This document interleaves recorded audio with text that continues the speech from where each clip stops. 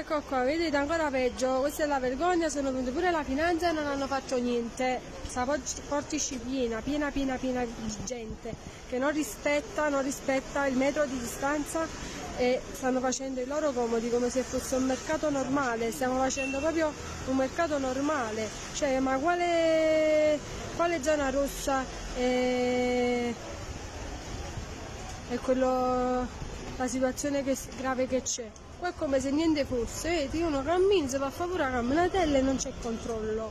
Non c'è controllo, potremmo pure morire.